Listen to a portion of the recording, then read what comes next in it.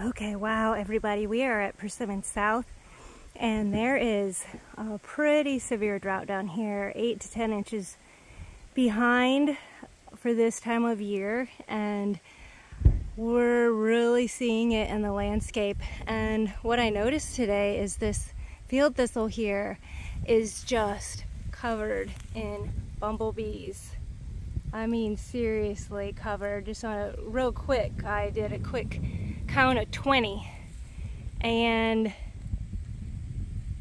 this plant though is hanging on. I mean, that is the thing. This native thistle is here and you can see it's dying back at the base, but it's still pumping out the blooms, which the bees are using voraciously and the seeds are eaten by goldfinches so they have been in here too so these natives that can hang on in these drought conditions and offer so many resources are just remarkable.